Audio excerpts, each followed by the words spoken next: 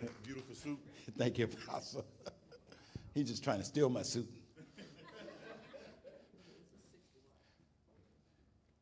Good afternoon, y'all. Good afternoon. You know, this is the hardest time to teach is right after somebody just finished eating greens.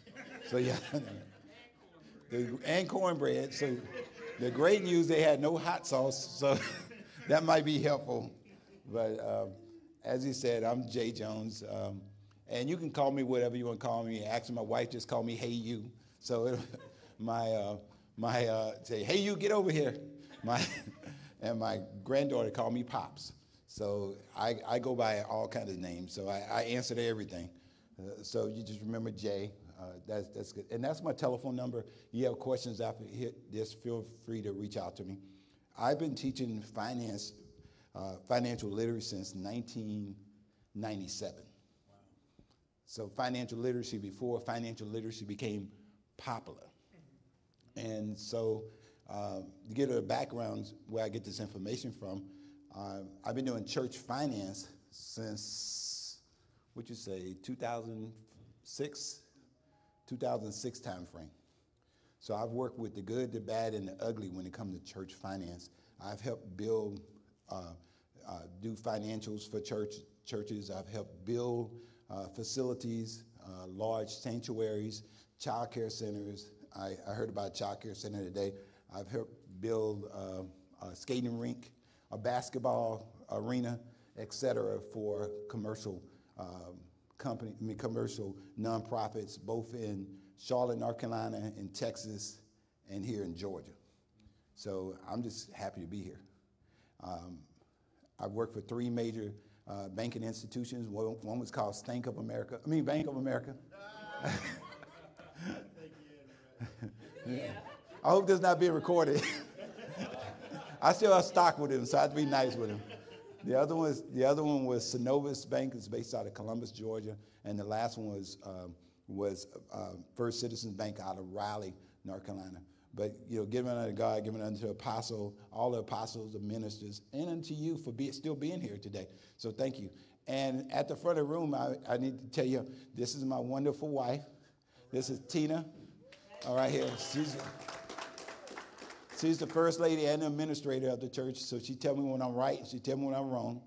I've been married to her for 33 years. And to let you know, when I married her 33 years old, 33 years ago, I had a full head of hair, like you, Apostle. I had a full head of hair. Look at my head now. I'm so bald head you can smell my brain. So that's, that's how bad it is. And this is Minister Tracy Ferris. He's one of our ministers at our church. In fact, he's preaching tomorrow. He's doing his first sermon at the church tomorrow. Yeah. Not not first sermon, first sermon just at our church. So first sermon, he just came over from McDonough, so we're glad to have him and his wife. His wife is uh, one of our dance team members uh, at the church. But anyway, today we're going to be talking about church finance. I'm going to go real quick, and if you have any questions as I go along the way, some of the stuff you may know and some of you may not know. So if you know it, just kind of shake me off and say, I already know this. Um, real quick, how many of y'all ever heard of a BOIR report? Are you familiar with that? Okay, if you're not, um, I want you to go online. I want you to Google BOIR. If you're a business owner, if you're a nonprofit, you know a business, I need you to go and do that BOIR report. Let me tell you why. It's called a beneficial owners, ownership information report. Mm-hmm. Most people don't know about it. And that report has to be complete by December 31st of this year. It's done through FinCEN, and if you don't have it done, then you're going to start getting fined over $500 per day. day. So I need you to go. You can go online and do it. It's very simple to go online. I created some slides about that. If you want me to send it to you, I'll be glad to send it to you after this. That's my email address up there. Send me any um, send me an email and say, I want this information on BOIR, and I will, I will email it to you. And then you can just follow the step by steps that I already wrote out for you and do that BOI report. Please, it's imperative that you do that. It's imperative if you know anybody owns a small business that's an LLC or anything like that, have them do that report. So that's the number one thing I want to tell you before we get into this presentation. Okay? Everybody with me? Okay, so Apostle Holly told me y'all were brilliant when I, when I was coming here to Cartersville. So I'm going to see how smart y'all really are because it's after lunch. I need to see how smart y'all are. And we're going to do it together. This is a test before I go into what we're going to talk about. This is a test. Spell the word mop. M-O-P. We got to do it together now. How you, how you spell mop? That spells? Spell the word top. And that spells? Spell the word cop. And that spells? Okay, let's do it together. Let's spell the first word. M-O-P. Mop is spelled? M-O-P. Second word is cop is spelled? C-O-P. Last word is top is spelled? C-O-P. What do you do at a green light? Mr. Eric, I know now, I know he was in the army, so how many army people we had beside over here? The army, that's three army. He go, you got to stop at a green light? No, you go at a green light. So I need y'all to listen to what I'm talking about. And don't join the army in this. Be all you can be. Do not join the army. Too late. Too late.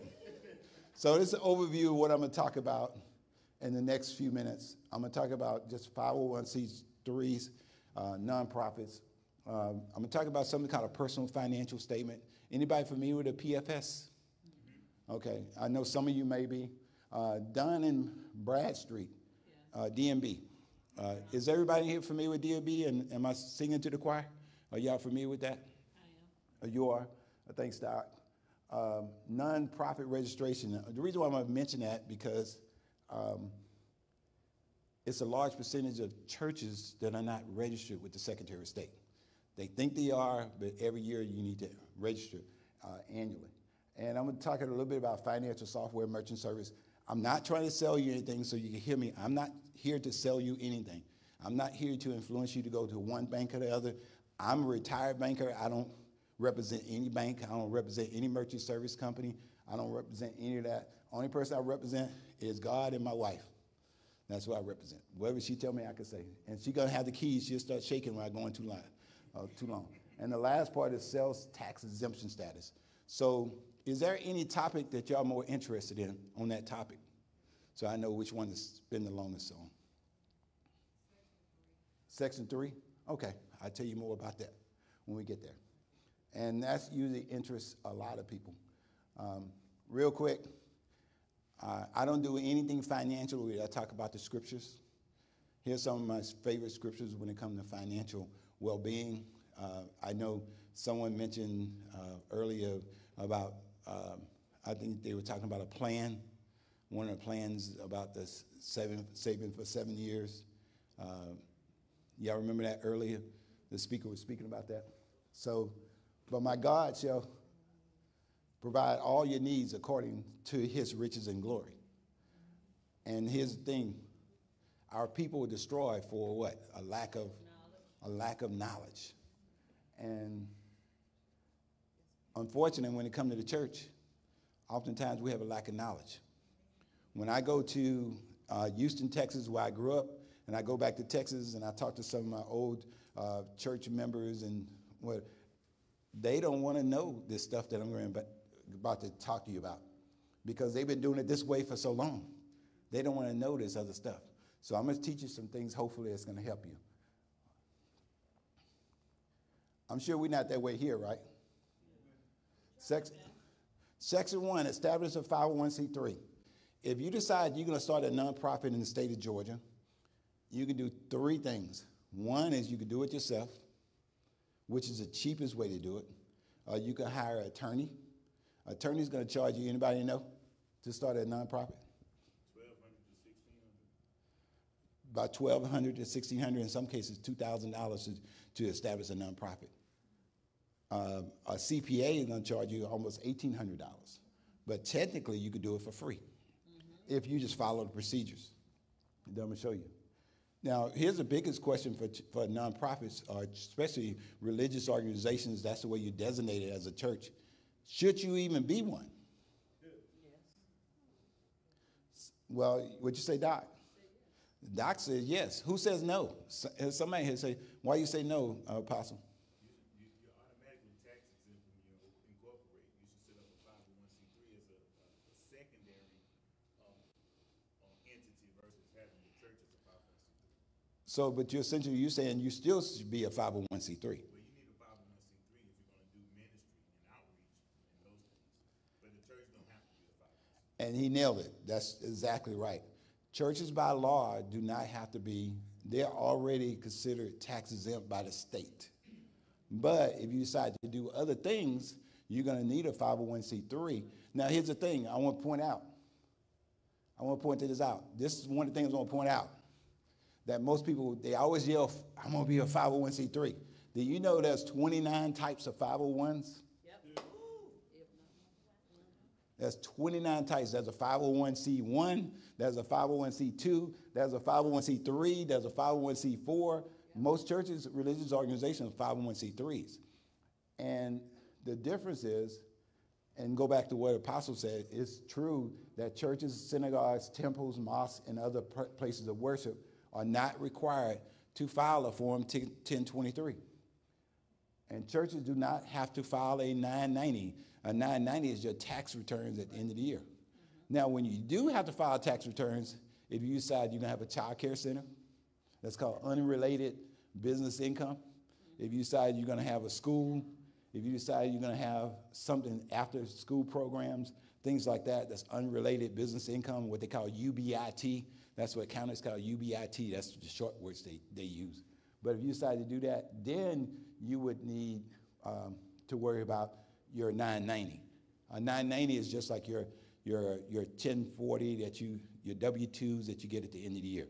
So if you don't know what that is, those of you who file taxes, do everybody here file taxes? I don't pay taxes no more, so I don't know what that is.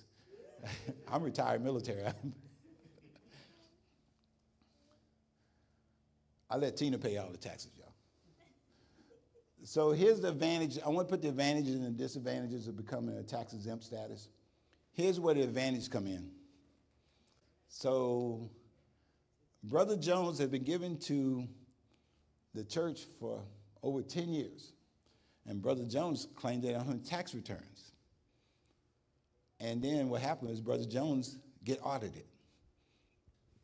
Have anybody ever here ever been audited other than me? How many times? Just one. How many times have we been audited? You said one time. How'd you, how many times have we been audited?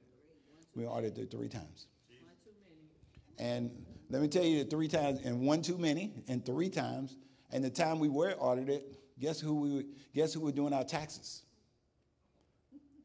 Who were doing our taxes, Tina? Uh, XRS um, personnel. what? XRS. They said there was an ex-IRS tax agent. I never deal with anybody ex-IRS. never, ever, ever. When I started doing my taxes myself, then I never got audited again. But we got we got audited three times as a result of dealing with somebody who's an ex. So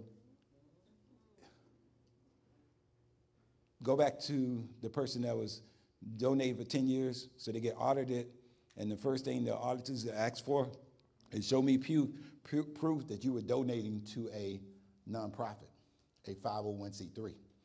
If you just donate to a nonprofit and they weren't a 501c3, they exclude all those donations. Did y'all know that? Yeah. You knew that, right, Doc? So that's the danger of not being a 501c3. That's the danger of not. So people's con- contributions to our church, if we're not a five oh one C three, is invalid? No, it's not invalid. I said if they get audited. Now the likelihood of they getting audited is like less than less than two percent. I don't want you to get scared and say, oh, because you're still a nonprofit in the state. You consider a nonprofit in the state, but they could exclude it. They could if they really, if you get the wrong agent, they could. They don't have to. In our cases, we, we had given to several nonprofits, so you can give to Goodwill, uh, to Samaritan Purse. You, those are all 501s, so you can give to them. You can give to the church. But now, because they changed the exemption, it's not going to matter that much anyway. But I just want to give you that as an example. So uh, that's your non, your formal structure, your limited liability. you're, you're limited for liability as a church when you have a 501c3. It's certain things that people can't sue you for when you're a 501c3. So that's your advantages uh, to being, and you're eligible for other grants and other public and private grants. These are your advantages to being a 501c3. Your disadvantage is it costs money to create one. I told you you could do it yourself, but uh, sometimes you don't know how to do it. If you're not a, um, my master's degree is in public, public administration, so I learned about nonprofit. So that's why I had to learn that in school. So I know how to do that stuff, and so that's how I learned how to do it. Um, by um, uh, it was just part of my education uh, process. Um, share control, scrutiny by the public. Some people don't like it because once you become a 501c3, guess what? You have to open your books up to the public. That's right. Because it, and you should be opening your books up anyway. Anyway, that's right. so, so your books should, should not be a, a secret to your congregation. They should be able to say, hey, I would like to see the books. Uh, okay, here it is. Here's, here's our financial statement. So this is what it looks like. And earlier, Apostle says there's a difference between a nonprofit and a tax exempt status. Non nonprofit status is a state law concept. Nonprofit status to make an organization eligible for certain benefits. How does an organization become tax exempt? Is you apply for that 501c3. It costs $600 in the state of Georgia to apply for a 501c3. That's what it costs. How do I attain one? Here's the funny thing that I get most often. This thing is the bottom. I get this question most often. People come to me and says, "I'm just doing the 1023 EZ, which is one page." Guess what? That don't apply to churches. They cannot. If you have a CPA attorney or someone tell you they can fill out EZ, the devil is a lie. They cannot. They have to fill out a 1023 loan form. form. And it's not hard to do. It's so easy because a lot of those pages that's on that 1023, you'll never fill out anyway. So I just want to point it out. So you have to have a form 1023, not a 1023 easy. Things you need to know. The two most important things you need to know about 1023 a nonprofit is what is called bylaws and income tax requirement. That you don't have to report your income tax, and you have to have these. You have to have these two statements in your bylaws. You have to have a purpose statement, and you have to have a nonprofit status and liquidation. Now, where churches get in trouble a lot of times when they apply for 501c3, y'all know what is the number one thing they get in trouble for? They get denied for? Discriminatory comments, discriminatory practice, and they bylaws. And then I go meet to a church. I just met with 38 churches down in North Carolina, and I go meet and it says, "In our bylaws, we got to have no gays allowed." You just mess yourself up. Discriminatory practice. No blacks allowed. No this. No this. We're not going to have these people that look like this in our church. And they want to make sure it's in their bylaws. Mm-hmm. And I tell them and say, hey, you write your bylaws with the right dissolution clause. You write your nonprofit status and your liquidation. You put that in there. You get rid of any discriminatory practice in your bylaws. And then what you you could always change your bylaws after you get approved. get approved, then go back and change your bylaws. Amend the bylaws if that's what you do. You can amend it after you get your 501. So get do what the federal government wants you to do, and then you go and amend your bylaws. People amend them all day long, all every day. I was gonna Yes, ma'am. you, um, couldn't you just put the scripture there and not spell the scripture out? You can. I think that would be, they're not gonna read the scripture. They're not gonna. They'll never read the scripture. That's a great question. Yeah, No, and it would be a part of your bylaw. It'll be part of your bylaws. You can just put the scripture there. You can. That's that doctorate degree is kicking in. I ain't got to do all that. We ain't got to do all that. So again, income tax requirement, you do not have to file income tax as a church. That's the other blessing by being a nonprofit religious organization. Uh, you do have to file, you have all these things that Apostle Holly has here. He has a coffee shop, he has to file taxes on. he has books, he has to file taxes on. Uh, uh, so Remember that thing I told you called, called UBIT? And see it at the bottom? Known as UPI, UBIT. If a nonprofit earns over a thousand a year from a trade or business that's unrelated to the business, that's called unrelated business income, they have to file taxes on that, child care, after school programs, et cetera. So I just want you to know that. This is the application that you would use. Call it 1023. And if you have questions about the application, guess who you, you can contact a CPA, you can contact an attorney, or you can just call me. I'll be glad to answer any questions. This is the form that you get from the federal government after you get approved for 501c3. This is what it looks like. This is our church 501c3. You see I highlighted. It has an EIN number, customer service number. It says, we are pleased to inform you you've been accepted. Once you accept it, you have to do some really crazy stuff to get that Revolt, right. revoked. They don't just revoke it for nothing. But one of the crazy things that get you revoked is when you don't do your Secretary of State um, every year.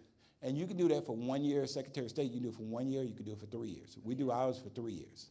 It's time for us to be renewed. It's, uh, it's $50 a year for most churches, $50 a year to renew your Secretary of State identification.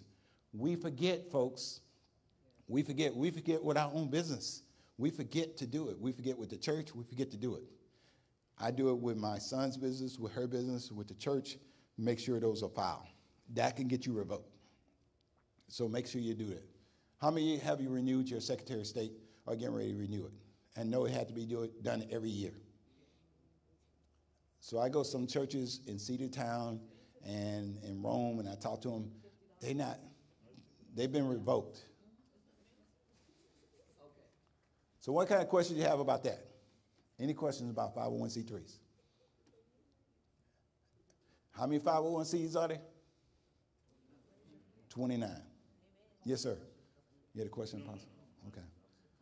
This next thing is most people don't know what it is because they never had to do it. So if Apostle decided he wanted to get a loan on his church, one of the first things the bank gonna ask him for is a thing called a personal financial statement. Um, this is what it looks like. It's called a PFS.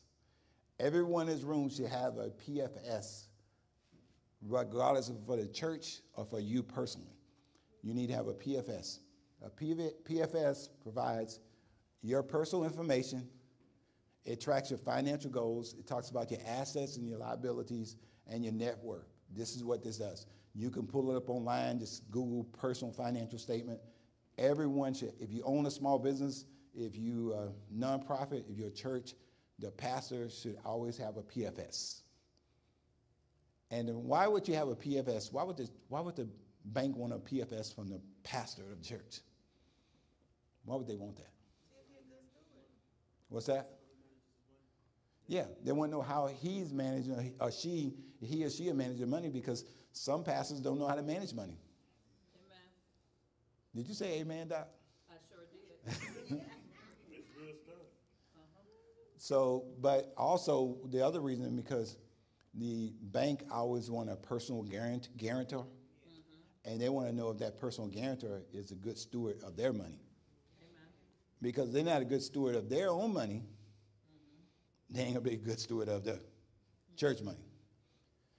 And the PFS also helps them pull another thing called personal credit report. Do everybody here know what their credit score is? Or do y'all check? Do you know what, what is the name, main credit score you should have? Everybody know? You're not going to Credit Karma. No. Why, why do you don't want to go to Credit Karma? They use a variation of your credit score. They use this system called Advantage. I'm gonna tell you what it's called. It's called Advantage. That's what you use. Sometimes they use Next Gen. Sometimes you use Advantage. The only one that counts is FICO. I'm gonna tell you what my credit score is right now, right in front of you. My credit score is 832. Yeah.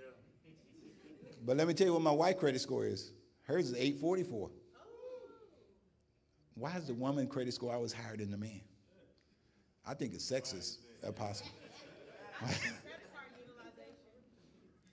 What did you call it? What did you say?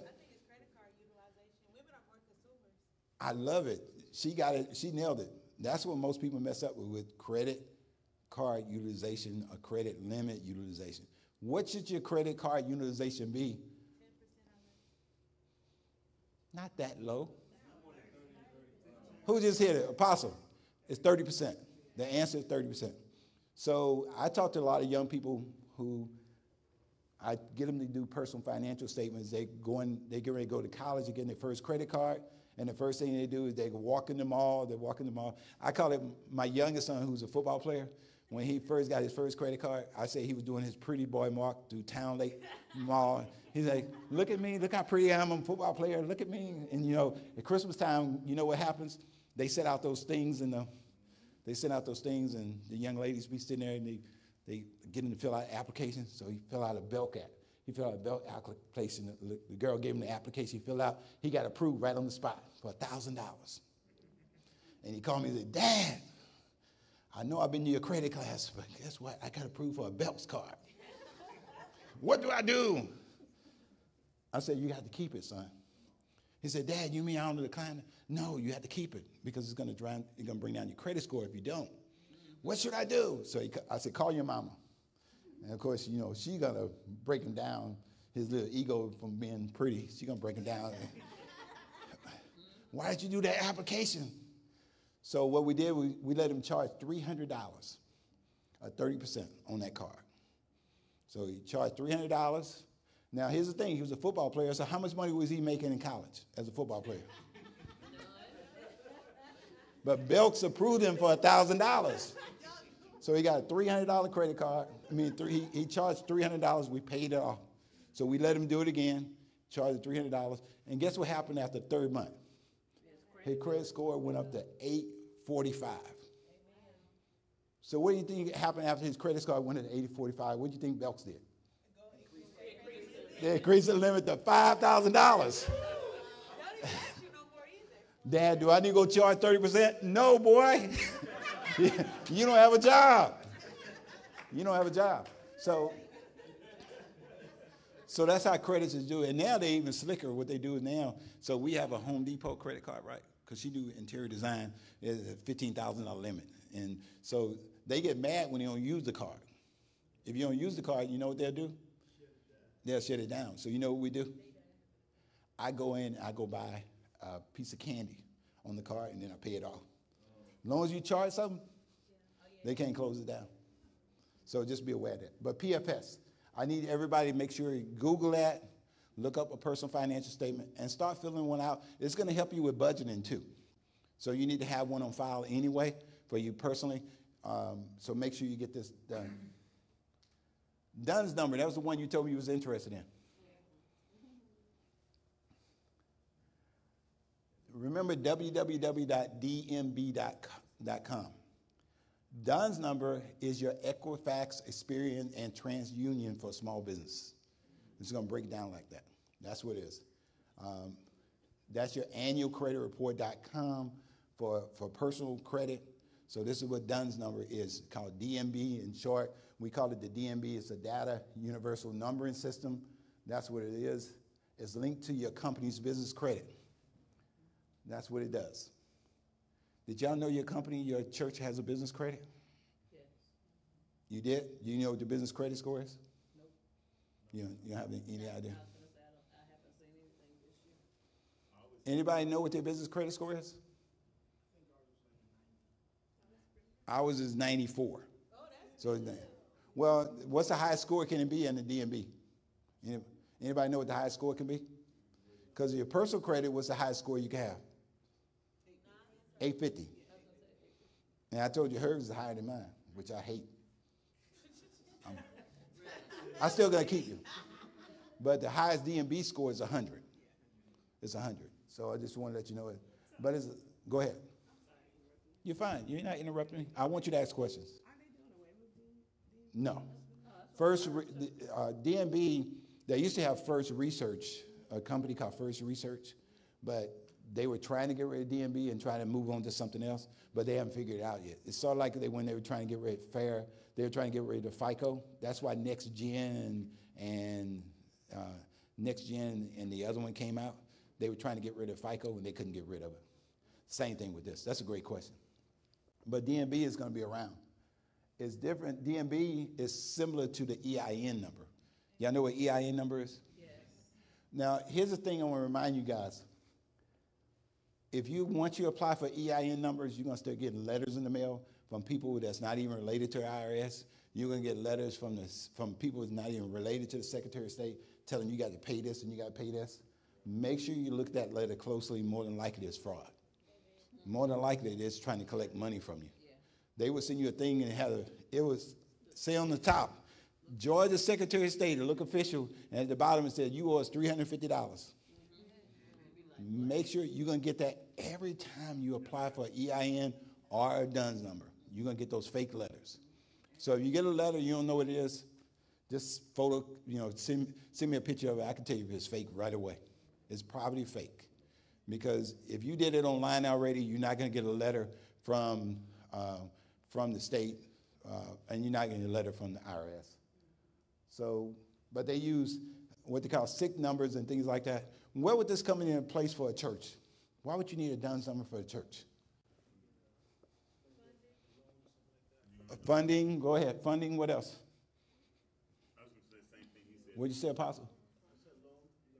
You want to get a loan? Uh, so, it was at one point in our time we had to get a church piano, and we uh, we didn't want to take the money out of checking account to get the church piano. So we went to Atlanta. We found this piano that could change all these different tunes. We got a, the first thing they did was they ran out business credit, and here was the blessing is that we we applied for it, got approved for the credit. We bought the piano, and before we can get back to the church, somebody already paid the piano off. That's how God has worked for us at our church. Yes, sir. So our church, I think, has a pretty high DUNS number, but the last couple of uh, major purchases we made, I had to co-sign for the church. What would cause that? You had to be a guarantor. Yeah. So I would have to look at the DUNS number to see what's going on with it. Because typically, It's like an eighty-four or something like that, and we've had our DUNS number for a long time, and I've, we, we do business with some, uh, you know, quite a few net thirty companies. And so I, I don't know why our credit hasn't been strengthened or built, but that's something I was wanting to figure out. we could pull your DNB and I can take a look at it to see what exactly what is going on. Uh, DNB, just like a regular credit report, you can pull it and you can see where the flaws are. So unless it's more than fifty thousand dollars, you should never have to co-sign. If it's less than fifty thousand dollars without collateral, you shouldn't have to co-sign for anything less than fifty thousand. Yes, So ma'am. in order to, because I was thi- just thinking what he was talking about, so I, um, I used to know it, but I haven't used it for anything. Would it make the score go down? No. Only when you use it and you increase it. Now, just like, uh, I will tell you this, that just like your personal credit score, when you go past that thirty percent, thirty percent limitation, it also happens with churches. So if you bought something for five thousand, you finance it for five thousand, guess what? It's gonna decrease your credit score Yeah. because of the utilization. The utilization score, that percentage can bring down your credit score. But then the non-utilization does the same thing. It can do it sometimes. I paid off my house, and somebody told me that was the worst thing I could have did. Well, let me, let, me tell you why they tell you the worst thing you could ever do. That's for two reasons. One is because of taxes, because you lose your tax benefit when you pay off. I get to go talk to large and small churches. And the thing that really drives me crazy when a church says, I need to let you know I was pushing my membership to pay this church out so we can burn our mortgage. Why?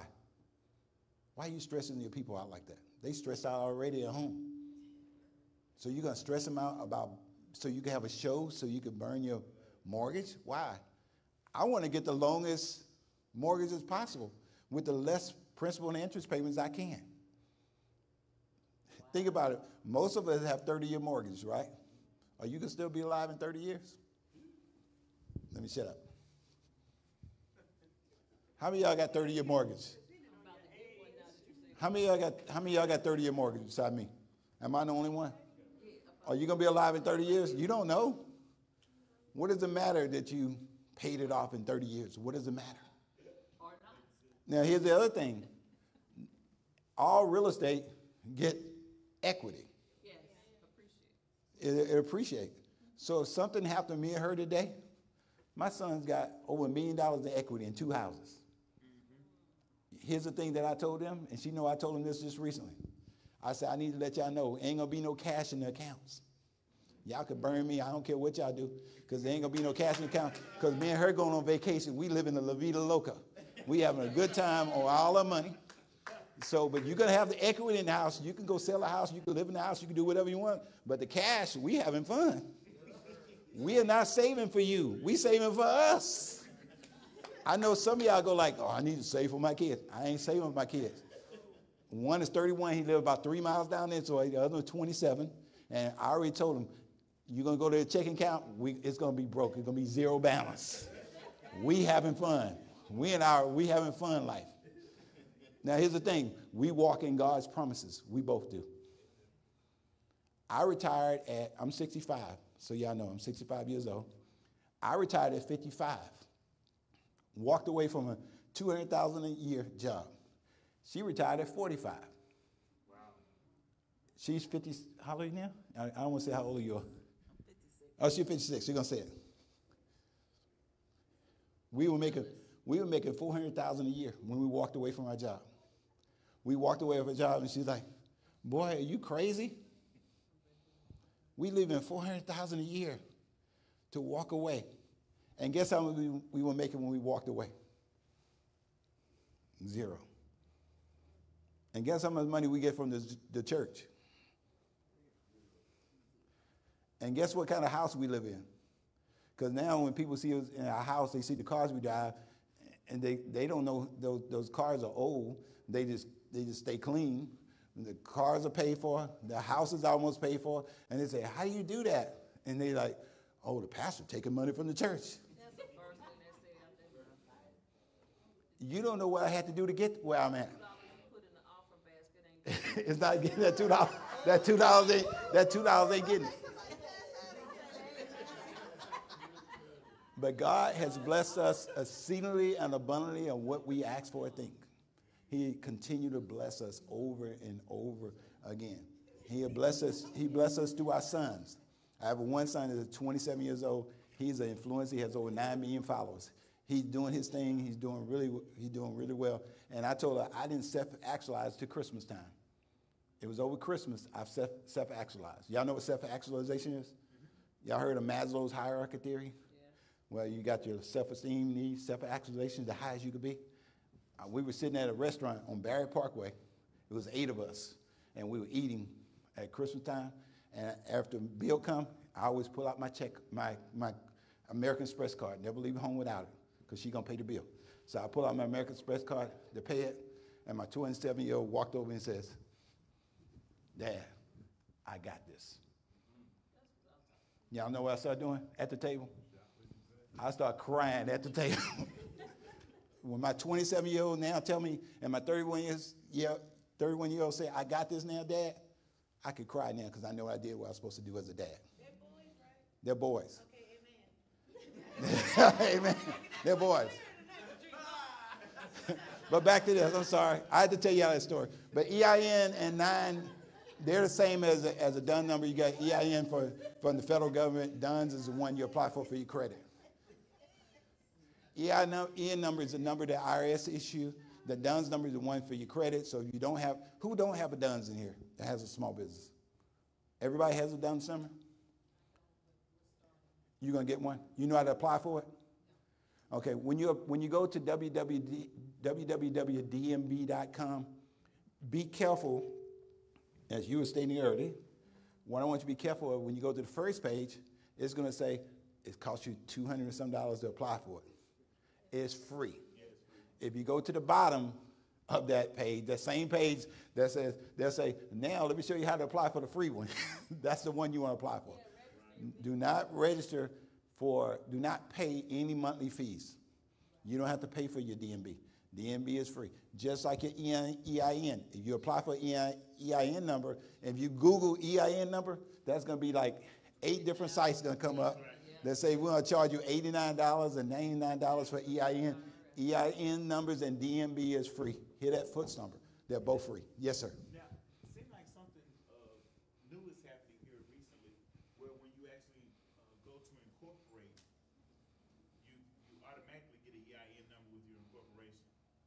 Is that something I'm misunderstanding? No, 'cause Uh, technically, by law, you do not, you should never get an EIN number automatically. Because it's two separate things. One is by the state and one is by the federal government. So they don't talk to each other. So you would, you would apply for your Secretary of State and then you go in and apply for your EIN through the IRS. And How about to do in the past, past, but that's, I saw some things here recently where, um, they were, they were related some kind of way, and I thought you may have more information about it. No, there's some people that's creating fake numbers, uh, what is called C, it's a C, begin with a C, I can't remember what it is. It's people trying to circumvent the system, they're creating some fake numbers and then sending those out. Just like those fake letters that are being sent out. But there's two separate things, just to let you know. I had never heard of that. Dr. Kim, you ever heard of that? No. No? Anybody, y'all, y'all haven't heard of that? Okay. I haven't either. I'm sorry. I investigated. I'll take a look into it. I haven't. But anyway, it's important to establish a, a DNB if you want to have business credit. It's better, now I'm gonna tell you why I have business credit. It is better to use somebody else's money than your money. I could take the church money and invest it and earn an interest, compound interest on that. Or I can use a zero percent same as, she's a zero percent expert. Zero percent same as cash, twenty-four months. Zero percent same as cash. Now I want you to remember, be careful of all zero percent same as cash, because they'll set you up. I'm doing personal in, in this business side, so let me give you an example. You go to Rooms to Go at Christmas time. They have zero percent, same as cash, 24 months. So you go in, they give you a $10,000 limit. And you go in, you buy some furniture for $8,000.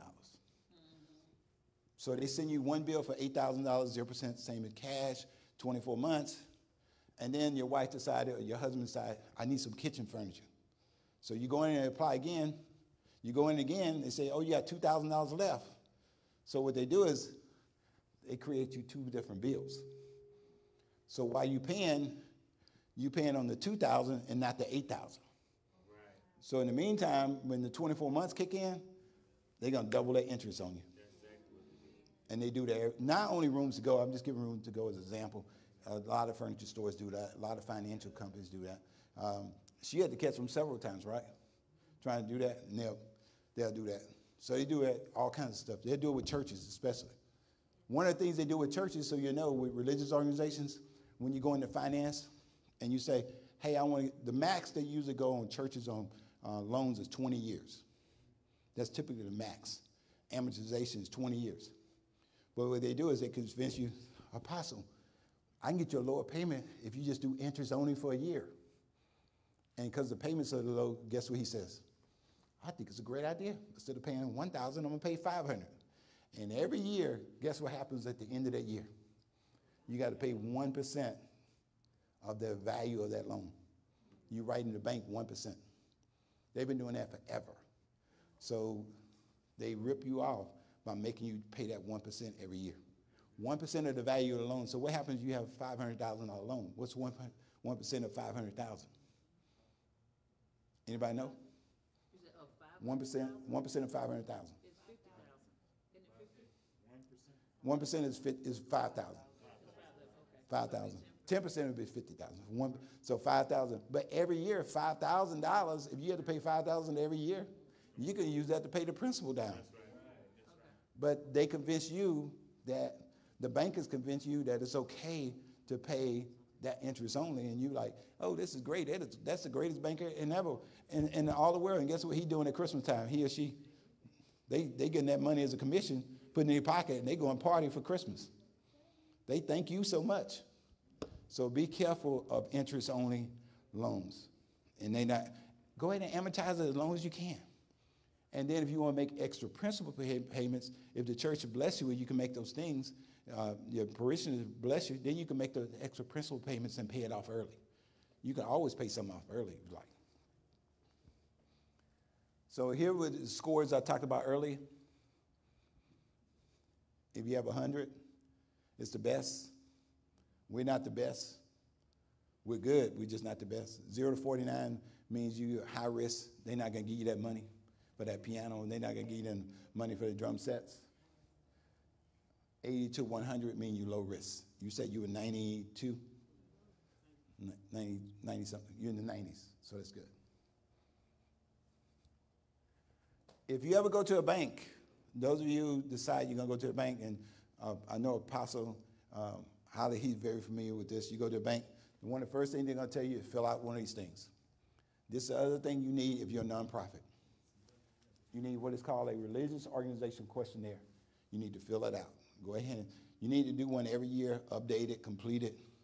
Um, this is where you have, and you can just Google it if you want to. There's different ones that have come up. Every bank has them. Every financial institution has religious organization questionnaires. It's going to ask you questions like, who is your architect? Who is your contractor? What does it cost if you're building something? It's going to ask you who's the head clergy. They want to know how long that clergy's been there. If you've been there for one year, I'm going to tell you it's going to be a no go. You got to be at the organization for at least two years. Uh, you got to be the pastor for at least two years. Uh, length of time they've been with their organization. They want to know what the denomination is. Why do they want to know what the nom- denomination is? If you're not in the denomination, does that mean you can't get a loan? Is it the longevity? Longevity? And how long? Give you an example. Presbyterian is set up based on what? Anybody know what their setup is based on? It's based on the. Well, they're based on the on the setup of the Congress of the United States. So they know that Presby is set up the same way the Congress is set up. They have a mm-hmm. Congress. Presbyterian has a Congress. They have a Senate. Mm-hmm. Non-denominations don't have that. So they try to look at how the organization's set up. So they look at that. They also ask you questions about.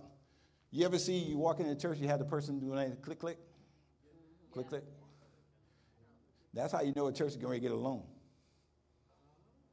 They're sitting at the door. They, they have the counter, and the usher has the counter, and they're coming down the road. They're going like coming down the aisle. They're going click click click click click. Apostle Holland count five. Click click click click. click click click. That's what they're doing. They're counting how many members uh, are attending different services. So that's what they're doing. And then they want to know how many youth you have. Why do you want to know how many kids you have? So if you have 500 members, they want to know how many youth you have. Why do you want to do that? Because they gonna become members. They trying to see the future. Well, they're trying to see how much money versus how much not, because you got five hundred members and, and four hundred of them are under eighteen. Ain't no money. It's still money. Say that again, Doc. So you saying young people don't donate? Out of You my can say pocket. Well, the funny thing, we're, our church is probably less than three miles from Kennesaw State University. Oh, so one of the biggest things our members wanted to do, we want to recruit at Kennesaw State. And I went to her and said, you know that's a cost center. What do you mean? That's an expense. If that's an expense you want to take over and understand it's an expense, it's not a way you're going to get revenue for the church. Is, is the, your mission, if you want to do it, yes. But if you're saying you're going there to get money, the answer is no. Kids are broke. Now, here's the amazing thing that always happened to us. But we have taught our kids how to give. We have a young man as a member of our church in Germany.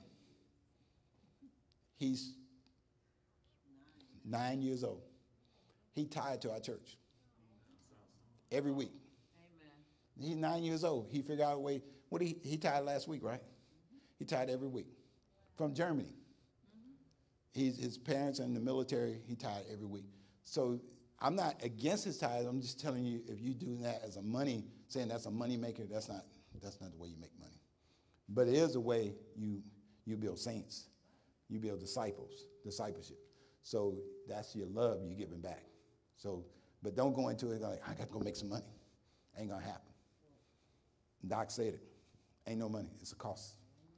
But anyway, you have to fill this out. And that's why they do that. Because they're going to subtract the number 18, under 18, they're going to subtract all that from your numbers. So if you have 500 members and you have 100 youth, they're going to say you have 400 members. Yeah, they call it giving units. That's how many. gi- What's that? And that's even less. So here's here's a true. I'm gonna give y'all a true reality of a church so you can know, and what banks know. If I have a hundred people, I'm gonna hate to tell y'all this right now. If I have a hundred pe- people sitting in this chair right here, how many are tithers?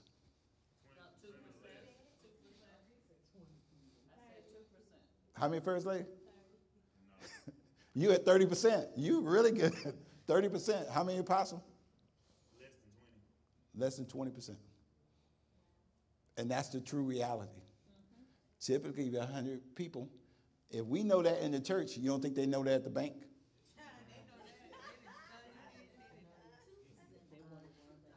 Say, say that again, Tina. Only two percent. What's a true tither?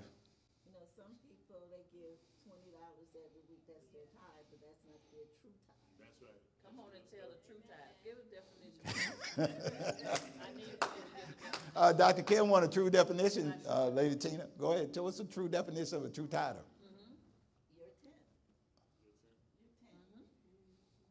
On, your gross or your net?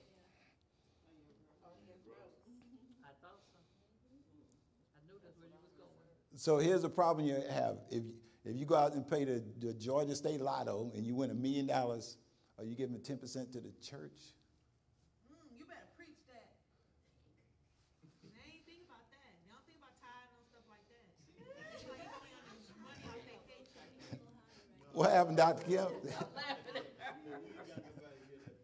Say it again.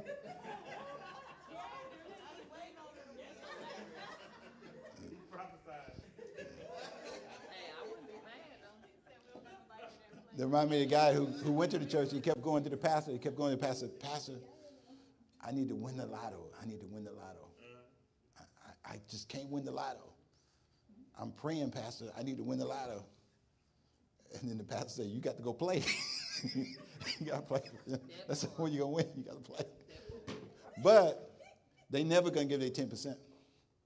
That's never going to, I've never seen it happen.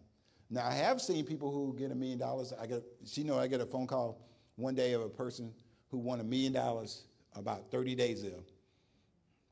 I get the phone call from his brother. I need your help. I know you're a financial guru. I need your help. I said, What you need my help for? My brother won a million dollars 30 days ago. I said, oh, Where he's at? He broke. In 30 days, he was broke. Huh? He won a million. Oh, yeah, I could do that in a day. I'm just saying, yeah, million dollars on a lot of You, money. you, you did it thirty So, so what do you think? He, what do you think he did? What do you think the first thing he did? First thing he did was he bought a house. He did buy a house. Cadillac, The, the second thing he bought was a car. What do you think he bought? Cadillac. He bought a Bentley. Oh, A, u- a used. that's the rest of the money. He bought a used Bentley. But he, but he paid two hundred fifty thousand for the, the Bentley. So he bought a house, bought a Bentley. Then he bought the furniture. Then the next thing he did was he took his wife to uh, what's that place where the things on the water? The Mal- Maldives. Went to the Maldives. So he spent the trip. So here's the next thing he did. So he took his wife to the wife and kids to the Maldives. Then the next thing he did was he took his girlfriend to. Eu- No, I was gonna say, next thing he did, went back to work. He took his girlfriend to Europe. Then I tell you, he had a wife and kids. That's what we heard. Okay, you heard that part. and the one thing he didn't account for was Uncle Sam. Because what's what's when you get in a tax bracket, if you have a million dollars, what tax bracket do you go in? So w- without owning a business, you had thirty percent, over thirty percent. Uh-huh. So thirty percent of a million is how much? Three hundred thousand. So he was broke within thirty days. That's how it can happen. That's why I teach money management. That's why we talk about this. and the Bentley broke down. You Can't can't afford to change the brakes. so that's what happened. So documents required for loan approval process. If any of you ever decide you're going to file a file for a loan, these are the documents that they will tell you you need. These are what they call conditions. Would the bank ever call you and says, if you're applying for a house, they say we got some conditions. These are called conditions. We need your formation, your articles of incorporation. We need your 501c3. We need your, uh, your budget, your financial statements. Uh, we need your pledge receipts. That's the people that actually give. That 2% that Lady Tina was talking about. We need your articles and bylaws. They want to make sure there's no discriminatory language in your bylaws. That's the time you get in trouble again, because the bank's not going to give you money if you're discriminating. Be backed by the federal They're, they're backed by the federal government. So your missions report, your lay leader structure, and you see all at the bottom what they request? Personal financial statement. Personal financial statement. These are things you need. If you ever decide you're gonna apply for it. Does that make sense? What's, what is the lay leader structure? Uh, ladies, uh, they just wanna know who's the pastor, who's the youth pastor, who's the, who's the, who's the, uh, you know, a lot of churches now have pastors over everything. Right, right, right. Yeah. On, on the DUNS number, I know that some companies do not report to the DUNS. They do, they don't, that's correct. How do you, uh, is there a way to get that going for yourself, or that's just like, you know? That's voluntary. They don't have to report. Some would never do it, some do. I know piano companies do, because they reported as soon as we did it. Even though it was paid off by the time we got, by the time we got to the church, it was paid off. So, but they reported it already. It was already on the, on the report. So some do and some don't. Just the other, the other one I want to give you, nonprofit registration. We have to register, we have to stay compliant. Here's the problem, over sixty percent of churches and religious organizations in the state of Georgia have either been revoked, administratively dissolved, or closed due to non-compliance. Non-compliance means you didn't pay your fifty dollars at the end of the year. Because we forget. So now, ours is due two thousand twenty-four, that's our third year. Mm -hmm. I can't pay for it right now, I can't pay for it until January. Right. You have, you have three months, I think, to pay for it. And then you can pay for it, then I do it for another three years. Yes, ma'am. So, um, this is a question. When a business drops down to non-compliant and nonprofit, can you buy a nonprofit the way you can buy like a business that's not compliant? When you say buy, you talking about by their name, or what are you saying? Like, you know, you can go and basically buy the name, the registration of a business that basically dissolves, and you kind of get the equity in the registration if you keep using that same name, or if you do official name change. Can you do that with nonprofits? Okay, what equity? I'm, I'm confused So about what. I think she's thinking that the longevity, so if my name, my, my, uh, I, I know exactly and know that you can't, but I, what, if I'm ABC Ministry or whatever, and she wants to be ABC Ministry and I end up going out being dissolved, can she immediately pick that name up and keep the equity or the longevity is what she really? Oh, the years. name? Yeah, Uh-huh. uh, the answer is no. The answer is no, no, the answer is no. Go ahead, I'm sorry. No, go ahead, no, go, go ahead, say what you're gonna. No, go ahead, say what you're gonna say. No, you got to say it. Because most nonprofits, especially if they're five oh one C three, they have to have a letter of of dilution in their bylaws. And, and most of you have to either, uh, give, uh, to another nonprofit or, or sell to another nonprofit or whatever like that to, to dissolve. So can, there's nothing for anybody to pick up, it can't be. But if you take their name, they're not gonna give it to you anyway, because they're already mad. Like, I ain't giving her my name. I'm sorry, I'm not giving it to you. This is the site you're gonna go to with this guy's pretty picture on there. That's the Secretary of State. You're gonna go to that, just select right there, go to that where it says business. You're gonna select that right there, and then you're gonna go to the corporate division. You do know you can search any business name. You can search any nonprofit just by nonprofit in the IRS. You can pull up, uh, you can pull up any church and see if they're a nonprofit. If they're a 501c3, you can pull up their 501c3 information, has their EIN number on it. You can create your domestic entity. You don't have to pay anybody to do this. Now, here's the thing I'm gonna tell y'all. Everybody in here for tax purposes to own a small business.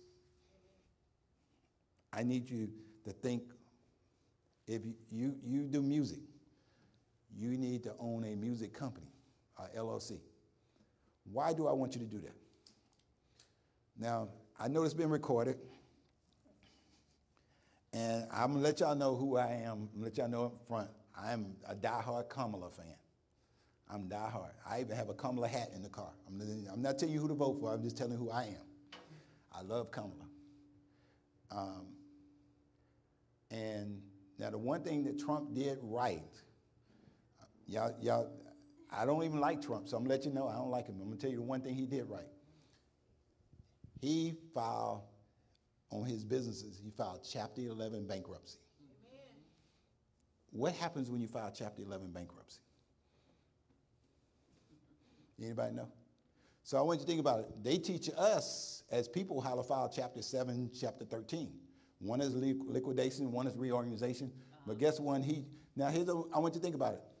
If that's a chapter 7 and that's a chapter 13 and that's a chapter 11, what does that tell you about the book? There's a book, right? So that's a chapter 1, that's a chapter 2, that's a chapter 3, that's a chapter 4. So there's other chapters in that book. So we're talking about chapter 11. Chapter 11 allow you to keep your own assets. So here's what happened. Here's what he did. He bought this stuff, and then he switched over to his business thing, and then he filed bankruptcy. And the business failed. And the business failed, but he got to keep all his assets. That's a, that's a what? That's how he did it. With all the hotels and stuff too. That was pretty brilliant, right? Got the renovations for free and everything. I'm not telling you it was right. I'm just telling you it was pretty brilliant. So that's what he did. Oh, it's mm-hmm. legal. It was legal. So I'm telling you the one thing I know he did right. I don't think he did it. I think somebody did it for him. Because I don't think he was smart enough. But anyway, that's another conversation. that's a conversation for another day. My wife told me I can't be political. I'm sorry. I can't be political. I'm sorry. Now, here's the funny thing about it. I would tell you, is, is, here's the funny thing about it. And I tell you, is I've been a reg- registered Republican since I was 17, since I was 18, when I turned 18 when I went in the military. But guess who I'm voting for this year? Kamala. I'm telling you who I'm voting for. Letting y'all know. That's who I'm. I'm not telling you who to vote for. I'm just telling you who I'm voting for. I'm telling you who I'm supporting. I guess I Yeah. have a question Yes, about that, um, and not really going into political parties, because I don't care for either one of them, and my name is Kim, and I, uh. Go ahead, Dr. that Kim. message. I'm voting for you, Doc. I'm, I'm voting for you, Dr. Kim. I'm voting for you. I'm voting for you. Okay, so when, when, when that particular party was in office, I noticed that my taxes were a lot lower, lower. Than this, this present regime, why is that? Regime. Well, let, let me let me tell you. I'm gonna tell you the why. Since you want to, I, I'm not gonna get into political And I aspects. at- And I looked at my book, so I'm, I'm not guessing, I know exactly what it looks like. I'm not gonna get- Trying to figure out what the difference is, and I'm about as old as you, so I've noticed, since I've been in business, certain regimes, my taxes are off the chain. Okay. As a, as a, uh, and then in another regime, they're not. I'm gonna tell you the reason like this. So when the other regime was in office, Other again, other regime, I'm gonna use the other regime, so we won't, we won't be bashing anybody. What happened was there was a law passed that if, if you were in this certain tax bracket mm-hmm. until 2026, maybe it's 27, I have to look it up. Maybe it's two, anybody know what year it was? Tw- Your taxes would go up every year. But if you were in Tina's tax bracket, guess what happens? Her taxes go down. So if you're in her tax bracket, it goes down. But if you're in your tax bracket, it goes up every year for the next four years. That was a law passed When, during the other regime. which other regime? I've been in business for a minute. See, see, you want me? to I was trying not to say the name. When Trump was in office, my taxes were lower. No, no, No, no, no, no, the laws didn't Yeah, yeah, yeah, yeah. The laws no, no. Listen to me. at a particular time, the law didn't affect it to after. The law came effect, I'm telling you what I know looking at my books. but You're the law. The law, your books at the particular time, the law didn't affect it. The law didn't go into effect until the following year. The books you were on was was Obama's books. Right, that's right. The books you were benefited from was the laws that was passed by Obama. And then the other person came in, I'm trying not to mention About names. the last few years.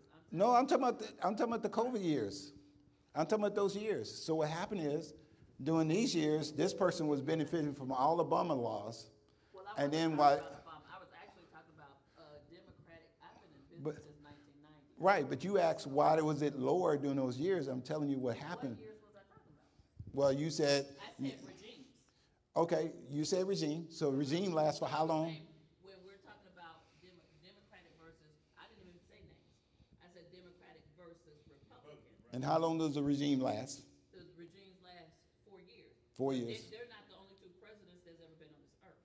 Oh, I'm, I'm not disagreeing. I look at my business and my taxes overall, and I look at my money, I notice that my taxes are lower, lower with the Republicans versus the Democrats. I didn't say nothing about Obama, I didn't say nothing about Harris, I said nothing about Biden. I'm talking about the regimes. Mm-hmm. So tell me how that works. We're not talking about the last sixteen years. The same thing he said, it still applies. It don't matter. But the you were talking name. about a law that just came into thing. I wasn't talking about that law. I'm talking about why overall. Well, the law that just came in, the law is inactive, is active right now. Every year for the next, to the next four years, your percentage go up. The So this has happened all over the period of the nineties and the two thousands? No, Okay, that's what I'm talking no, I can't, I can't tell you that. Okay. I, I don't have, if I had it, if I had in front of it, but here's the other thing I would tell you. When it comes to business, most people call it tax write-offs. Accountants would tell you there's no such thing as a tax write-off. There's a such thing as a tax deduction. So there's deductions, so people go, "I- I'm gonna get a write-off. No, there's no write-offs. There's deductions, so most people are not aware of all the deductions they get as a result of having a small business. There's so many things you can deduct, and that's why I think everybody should own one. Everyone should own a small business. I don't know what's going on in your, in your business situation. I can tell you, I benefited every year as a result, result of owning a business. Yeah. So I did my tax deductions properly with myself, with my son's business, with her business, doing my tax deductions so I can reduce my tax liability. And so have no, so, so you said there's a tax law that's presently that would benefit? No, there's a tax law that's presently on the books that's gonna raise your taxes up every year until That's two already thousand. hap- Okay, so now. That was enacted by the other regime. And the other thing that's Which is important active to of this regime right now. That's active right now. Okay, that's what I, I think another thing But it was passed by the other regime. is that the amount of deductions have changed drastically over They have. two or three years. So whereas, just say hypothetically, um, two years ago, you had ten different things Mm-hmm, that you use for deductions, now it's a hundred. You see what I'm saying? Um, and, and that's a big part of how you deal with your taxes and your tax delinquency, is that you have to have the right deductions to count. and that makes sense. Yes. Yes, ma'am. I have a question. Um, to what Dr. Kim was saying, because I understand, I've, I've been young, been in business for about thirteen years, and I've noticed what she said. When Republicans tend to be in office, and I don't gotta be political, they can't come stop me. We need to get to, make sure you have the camera pointed at her. Go ahead. Point the camera that way. Go ahead. Not, not the Holly's daughter. Say it out loud. Hold on, hold on. Let me bring you a mic. Say it louder. Sorry. Go ahead. Go ahead. I'm sorry. Say it. Go ahead. Say it. Dr. Kim is saying, because, okay, growing up, and I mean, I was just having this conversation with my best friend. I saw all these people, and they loved the Democrats because the Democrats gave all these social services. The Democrats gave all this free money in their mind and stuff. And And ain't I nothing was like- free. And I was like, wait, no, this, that's not how that works because people like me at that time, I'm working, I'm not getting the food stamps and the, the Section 8 and stuff. And my check is getting ate up. But then I'm watching y'all eating off of food stamps and I'm like, wait, now I see what the Republicans is talking about. Okay, and then I get into business and I notice, oh, when the Republicans are in office, the stock market does better, gold, certain things, assets and investments, and it seems like business in itself in the industry does better under that regime, like she said, Well- Well, let me, let me help, to let me help you with that right quick. First of all, the Dow has been the highest it's ever been, ever, ever been this year. The Dow, that's the Dow Jones, that, that's the investment you're talking about. It's been the highest it's ever been. Who's in office? Who's in office? What, who's in office? Who's in office? Now, let me back up, let me back up. Let me back up. So it's been the highest it's ever been, ever, ever, ever, ever. So let, let me back up for a second. So here's the thing. I let you know, my dad had 12 kids. I'm the youngest of que- 12. I grew up so broke and somebody robbed me to just be practicing. That's how broke. That's how broke I was. I was on food stamps. I, I got. I had powdered milk. I had the Kellogg cornflakes that didn't have the sugar in it, the one with the rooster on the front. I had the powdered milk in the box. That's what I grew up on. And then I married that lady. And I was a senior airman in the military. And we had a kid. And I was so broke. We lived payday to payday. We didn't know how to, we didn't know how to pay our bills. We didn't know how to do whatever. And then I had to go get WIC, for her, that social support to feed my kids. And here's the thing, when a significant event wo- woke up me that I was so happy to be able to get that, to be able to feed my, ch- my children, I couldn't afford to feed them because I wouldn't make enough money as a senior airman to take care of her and my kids. And then I went to the store. I went to the store, and, I, and she sent me and say, say, go to the store, go get some WIC. So I go to the store to get the WIC, and I'm standing in line at the checkout line. And here's the thing, I picked up the wrong peanut butter. Yeah, has to be certain people. And you know what they did? They stopped the whole line and said, he got the wrong peanut butter. I didn't pick up the one that said Wicks on it. Yeah. And then after I got past that, she said, he picked up the wrong cereal. And here I am as a black man. I'm turning colors in the line. I was already light. I'm turning red because she's embarrassing me right now. And I called my wife and said, baby, I don't care if I have to work three jobs. I ain't going to get no milk. I ain't going to get nothing. I ain't going to get no WIC. I ain't going there again. But I'm to tell you this. I've evolved since then. If you got a WIC card and you don't want to go, I go stand in line and get your milk for you. I've evolved. I don't care. If they hold up the line, I'm going.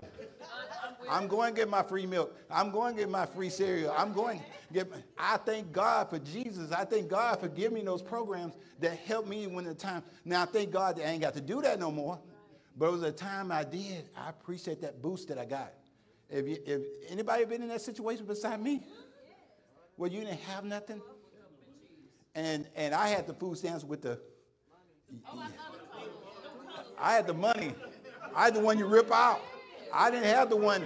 I didn't have the card. You could go with that card and slide it in, like a credit card. I didn't have that. I had the paper. So time. How old are you now? So see, I'm 65. See, time has changed. See now you you you don't have to know. They don't have to know. Nobody know you on WIC or EB. They don't know you got that. But back in their days, Lord, that big old, this, the packet was. they know that. They know that. Yeah. And girls wouldn't date me.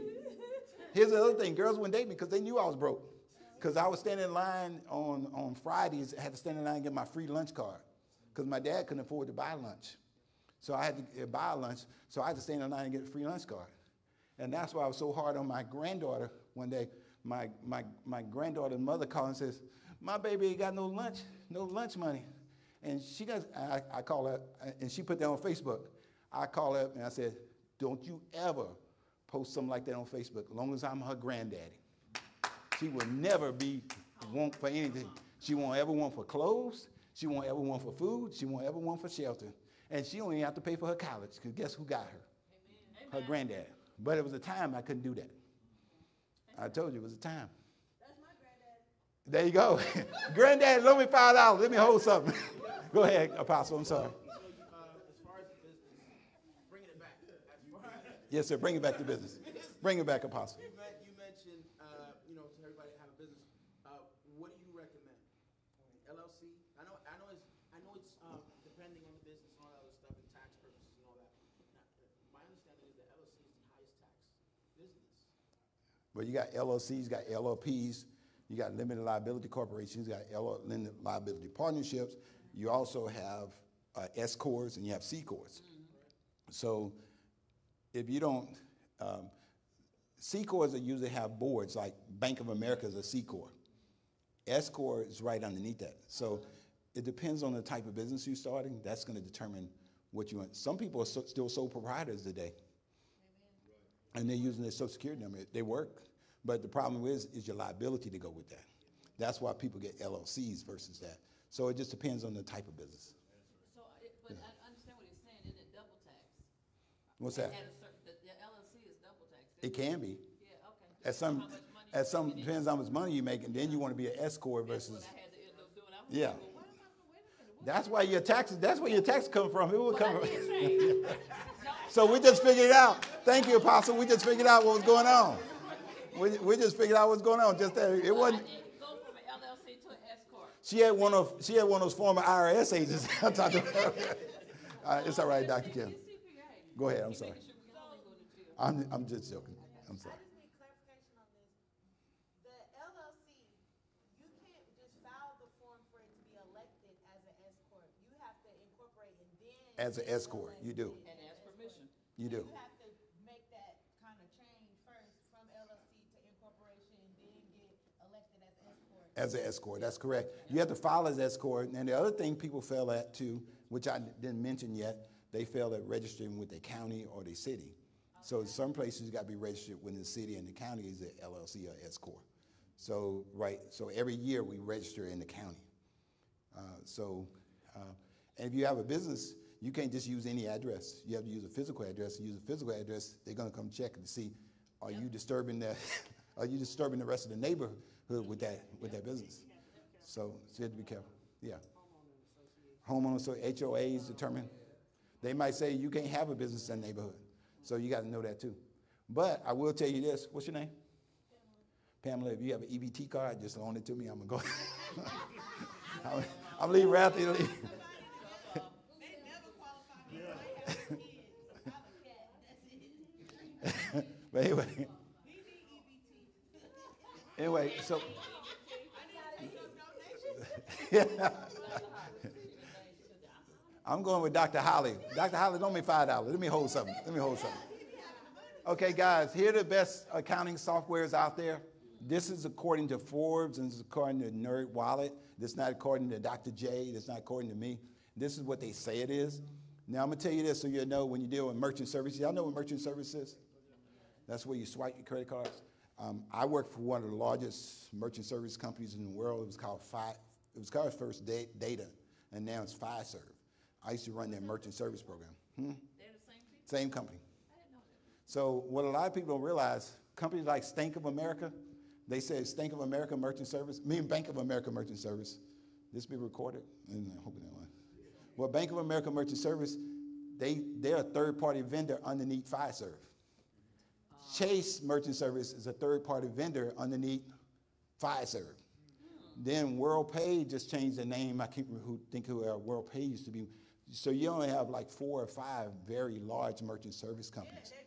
The And- like a and they're located right here in Atlanta. They're located out of 400. That's where they're located. And then they sell their services to other companies, and then we buy it from the other companies, so you get that third-party cost. So when you do when you do your merchant services, make sure you do your shopping, because you want to shop around and make sure they're not charging you a whole lot of fees. This is your church finances software. Y- y'all want to y'all want to tell you who my software is at the church? Let me tell you why she my software. Let me tell you why, Dr. Kim. Well, she has she has a she has two doctor's degree, first of all. Well, two masters, two one doctor's, right? She's much smarter than me. So let me tell you, let me tell you, so she ain't saying nothing, but she's brilliant. She's much smarter than me. I'm just a fortunate man to be married to her. So I told her the other day, I'm so humble enough to know I could be replaced. What other part? What was the second part? And I told her, I said, I'm humble enough to know that I can be replaced, but I'm cocky enough to know that whoever she replaced me with is a downgrade. I'm sorry, Doc. I'm sorry, Doc. I'm sorry, Doc. I'm sorry, Doc. I knew that was, a- You knew it was a butt? I knew the rest of the story. It was the rest of the story. I'm sorry, Doc, but it's so true. But anyway, but she's she's brilliant. Let me tell you why I found out how brilliant she was as an administrator. One day, so she has about eight, nine. I was telling the apostle he has how many? Eight, seven bank accounts for the for the church. She has a youth checking account for the youth. She has one for the men's. That way we don't commingle the funds, so she keep different ones. And I was a banker, so I know how to go into the bank and talk their lingo. So, any case, so one day she called me up and she says, Jay, I need you to stop by Office Depot, and I've been working all day doing something. I need you to stop by Office Depot and get some paper for the church. And you know what I do? I said, Yes, ma'am. I'm on the way. I'm in for So I go into Office Depot, and remember, I had been working since like five o'clock that morning. And I go to the Office Depot, I get the paper, And then I, in line at Office Depot, they got candy. And I'm sitting there, I'm starving. So I pick up a candy bar, a Snickers candy bar, and I put it on that church card. I, oh, um, I, I, yeah, And I get the phone call, oh, I know you did. Uh, Pastor, it, it wasn't, it wasn't Jay, it was just Pastor Jay. I already knew I'm in trouble as soon as she's called me Pastor Jay. I already knew she was in trouble. I used to be her pastor, like you said. I was a Pastor Jay. Yep, yeah, dear, what's going on? I heard the pastor. Uh, did you just put a Snickers bar on the church card? I said, yes, ma'am. I was hungry. I was in line and I didn't have time to go get lunch. Well, you need to get that money back to the church. I said, what? She said, yeah, the money you got on that. I had to go back home and give her the money for the- Snickers bar.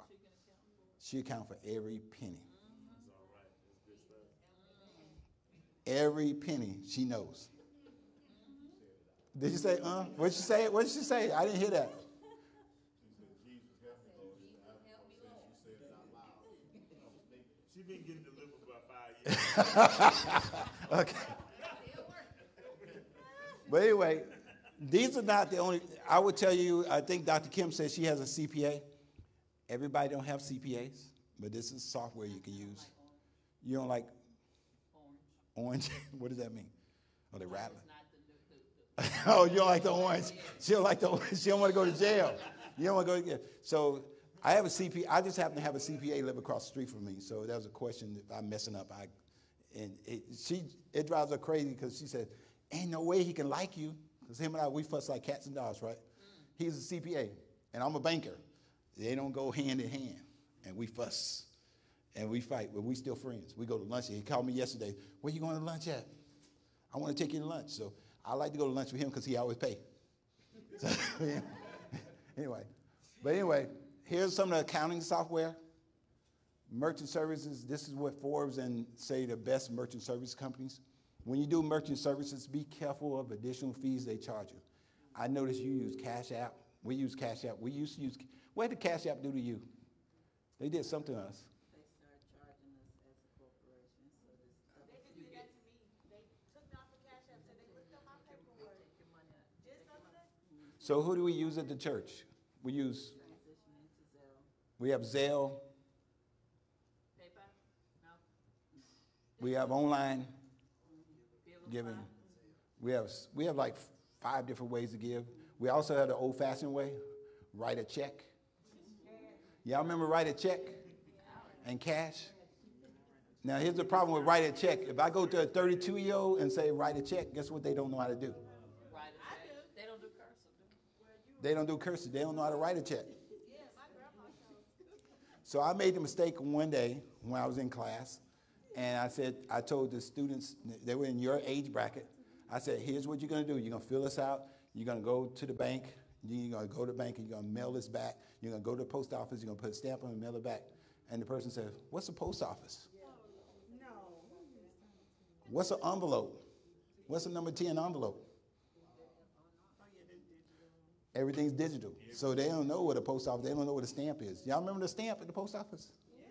They, they don't know what that is. Kids don't know what that is. They don't know. If I, do everybody here know how to write a check? Everybody here really know how to write a check. Anybody don't know how to write a check? If you don't know how to write a check, raise your hand. I don't write checks, so I'll let you know. She write all checks. I have no idea how much money I make. She write the long. She gave me a budget, first lady. You know what my budget is? I get fifty dollars a week. Oh, that's a tough budget. And if I go over fifty dollars, guess what she do? Here's the thing. If y'all ever had insufficient fund look on your face, I go to Kroger's doc, and I will go into Kroger's and I try to use my card, and the person behind me say, "Sir, you ain't got no money in your account." so I get it, and then I have to call up, and then if I can't get her, guess what? I can't get what's that? And I'm like, uh, "This, sorry, uh, sir, you don't have any money." How you know I ain't got no money? It just ain't got no money in that account. But the, but I've had that happen to me how many times? A lot. Huh? I, I am not. I got a fifty dollar a week budget. That's my budget. And if I bust my budget, did I tell you I've been married to a black woman for 33 years? That's why I'm bald headed. Look at my head. He go crazy. I'm sorry. I'm sorry. Now here's the advantage of my family. So I'm gonna tell you about my family real quick before I go to the next part. My family, my family is is black. Is, my family is Spanish, French, and German, and Indian. That's that's how it mix. When you go to my family reunion, you know what you're gonna get. You know if you're gonna get a section speaking Spanish. You don't know you got a section speaking French, or you're gonna get somebody. You don't know what you're gonna get when you go to my family reunion. You you never know, but they be good. I be eating some good food. Yeah. Yes. Real quick. So that's the best credit card companies. If you don't know who the other credit card companies, go to Zip, go to Yep. Just go to Yep and look them up. Watch out for the fees. If you don't know what to look for, let me know. I'll, I'll walk you through that process on Yep. Real quick, this is a question that came up real quick about sales tax exemption. Churches do not qualify for six. I hate to tell you this, we don't qualify for sales tax exemptions. But your school does. Certain things does. Schools, after school programs do. Um, this is what this is what the Georgia regulation says. The reason why churches don't. This just was enacted this year. I don't want to say who by by who, but it's enacted by somebody you like. Uh, they enacted this law that took away tax exemption from churches. So that's what happens. And that's the form you fill out. If you would go into Office Depot or you're going to Staples, you're buying something, you would fill out this form, in which you get tax exemption. Tax exemption is huge. So if you're buying something for the bookstore or something like that, I think they get tax exemption as well. Am I correct? Your bookstore does or no? No. No, they don't. Okay. But anyway, you- it's, it depends about state. In Texas, state of Texas, you're exempt from everything. But in Georgia, they changed it. That was done by a governor. I don't want to say which one. He's a friend of mine, so I don't want to say which one. What's that? Did I say this year? Did I say that? I'm sorry. Oh, sorry. So anyway, nonprofits, pers- personal financial statements, DUNS number, religious organization questionnaire, nonprofit, financial software, sales exemption status. Those are things we talked about. Uh, I also teach financial literacy. We teach at, she teach with me. We teach at, um, we were just in Newnan, Georgia. We were in Meta in Covington. We travel the world. We get a chance to teach financial literacy. People hate when we come and teach financial literacy because it be so real. They want to shut they want to shut us down from t- teach. We we don't teach people how to save money. We teach you how to keep your money. And also, we teach you not to live like we did when we grew up. We grew up, we were both. So, little history about Lady Tina. Lady Tina, when she was 17, she went to University of Oklahoma. That's where she graduated from. She lived in the airport, like, you know, airport, and she puts those little buggies around to get the quarterback so she get something to eat. I lived in my car, a 69 Volkswagen. Because my dad, when I turned 17, he said, You're 17, you graduate high school, get out. Had 12 kids. He'd get rid of them out. So I joined the military. I joined the Air Force, did 20 years in the Air Force. And then that woman made me go to school. She said, You're going to be married to me, you need to go get a degree. She was supposed to marry a, a pro football player. He was, make, he was a millionaire. But she, but she upgraded. She got me.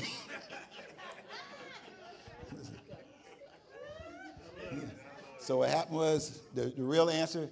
I came into life, made a jagged edges move, made direction clear, made, became a reason for living. I became a heart, a soul, a strong inspiration. Oh, that's what happened. That's what happened. But but that's how it happened. So we came from nothing to God blessing us. So nothing we have wasn't the result of what God did for us. That's what I'm trying to tell you. Amen. Nothing we got or we do during COVID, and I'm gonna, I'm gonna get ready to shut up. During COVID, everybody around us was getting sick. She and I, we were going to nursing homes. We were still doing funerals. We were still doing. We didn't even catch a cold. Amen. Praise God. The feathers was covered. Our whole family was covered. Thank you, Lord. And we were doing everything that God told us. She knows she was sending me out. Said, Why would you go out and that's COVID? You still going out and you still going praying for these people. I was still doing it. Now I'm gonna tell you something else. Everybody we was touched with finance have been blessed over and over. If they touch me, look at this man right here. And he might not say it. He might not say it, but here's what happened. When he came to Holistic Life Church, when he came to visit us, he was struggling financially. And I told him, come rub my shoulders. And what happened? What happened? Tell him what happened. The house, the house sold. House sold, pay off all your debt. And now he don't have to work. He don't want to. That's how God blessed him. And that happens over and over and over again. And not because of Jay, because of God. God continue to bless. Think of apostle. Think of think of think of Hey, hey, I love it. I love it. Hey, hey, hey, hey. In the name of Jesus, yes, yes, yes. In the name of Jesus, yes, ma'am. Yes, ma'am. In the name, in the name of Jesus, touch her. There you go. In the name of Jesus, you go. Thank y'all for having me. I appreciate it. I hope y'all learned something from this. Any, uh, uh, any questions, real quick? Any questions? I'm sorry, there's a question over here. Yes, ma'am. Um, this is related, but maybe not related. Okay, so five oh one three C is for religious organizations, nonprofits and everything. Um, according to some sources online, um, it even works for s- non-church, um, non-church denominational operations. So, for example, they say a lot of Ku Klux Klan chapters, bike chapters and stuff, they do five oh one three Cs. And then they go out and do stuff like Toys for Tots, the bikers. They're gonna do Toys for Tots, and then that keeps them qualified as a five one, five oh one three C. Is that the same type of five oh one three C as the church has? Or is that a different one? Cause I didn't know there was twenty-nine different types. Well, you got 501c3, 4, 5, 6, 7, 8, 9. So you got 29 just for 50. It's the same, could be the same, could be the same 501. Now, I want to tell y'all you got to be smarter than the average bear when you do stuff. So I know you listen to like Fox News and I get that.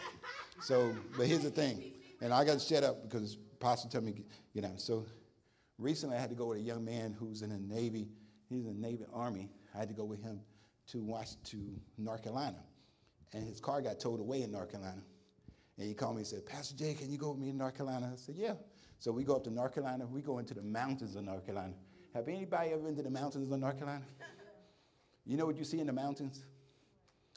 You know what you see? You see flags. You see, you see all kinds of stuff. If I didn't know I was a person of color then, I knew I was a person of color there. So when I got out there, so we pull up to go get his car, his car got towed away. We pull up, and he said, "What are you gonna do? You see this place you at?" I said, "Watch this."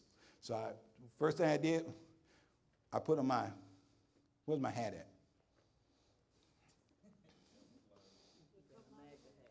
No, I put on my hat. Cause you know what I put in my hat? Oh, Cause, Cause I was no longer a black man, I was a veteran. So I put on my hat, and the guy came out chewing tobacco. He said, "Hey, how you doing?" I said, "I'm doing great, sir. How you doing?" What do you think about that election? I said, "I love the election. Some people make some great decisions." He said, "Love the hat you got on." I said, "Yeah, I did 20 years in the Air Force." He said, "Thank you so much for your service." I said, "I love that gun you got on your side." He said, "You want to see another one?" I said, "Yes, sir." So he goes inside. He goes inside. He go gets another gun. He comes out. He uncocks it. He gives it to me. He said, "Take a look at this. I just built this for my wife." I said, "I'm gonna build one for my wife when I get home. How much can I buy this for?" He said, "You can't buy this." He said, "But I'll help you build it if you want to." I said, "Thank you, sir." I said, "I love your flags. Your flags are awesome." He said, "Great." And the guy, his name was Will. He said, "How did you do that?" I said, "When you roam, you do what Romans do." That's right. I wasn't gonna that man in North Carolina. I'm trying to get your car. He said, I'm going to give you half off the price of getting that car out, too. I said, Thank you, sir. I salute you for your service. Thank you for serving the army for two days. Your, tw- your 48 hours count. Thank you so much, sir. but anyway, any final questions? I really appreciate y'all having me. I love, here's the thing I love the church. I love, love this man. I love this man. This man took me in a long time ago. I don't know why. I don't know why he, he I don't know why he want to take me in. Yes, ma'am. What about grants? What about, what about Like grant? trying to get grants, do you have any recommendation on people trying to get grants? It's hard finding good grant writers and stuff like that nowadays. There's no really a lot of true grant writers out there. Yeah, name is a fraud. Well, they go to grant school, but they don't. Now, here's the thing about grants. When you get a grant, watch what you ask them for because what happens is you're subject to inspections, you're subject to all kinds of things when you decide to get a grant. If you decide that's what you want to do, That's better ways to get money than grants sometimes. There's other ways. There's, there's what you call angel investors. Mm-hmm. There's other people that will give you money to help you if they believe in you. You got to create the belief that they believe in you. Then they believe in what you can do. So if they believe in what you can do, um, one of the things that happened, and I'm gonna go give this to Apostle, during COVID, um, a lot of churches were shutting down. Y'all probably remember during COVID. A lot of churches were shutting down, and this is why my 27-year-old, he, he wasn't 27 at the time.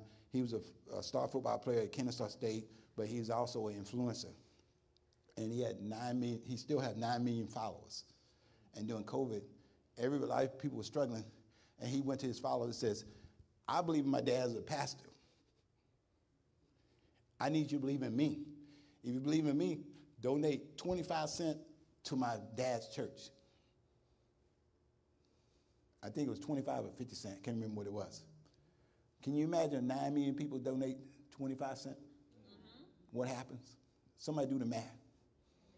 What's 25 cents times 9 million? So we never had to worry because we were blessed exceedingly abundantly what we ask for or think according to the power that work with us. That's how beautiful my God is. That's how beautiful your God is. And guess what? He not only bless, bless you physically, but mentally and financially. If I can do it, and I was poor, I was poor, if I can do it, you could do it. And if you ever in Kennesaw, come say hi to us. Don't leave Sebastian though. Don't leave, don't leave my apostle. The apostle, he's amazing. He's taught me some things that he only know he taught me. He taught me, he, teach me, he listened to me when I whined him. So I greatly appreciate him being my big brother. So thank you so much. Great job, man. Great job. Y'all give him one more hand.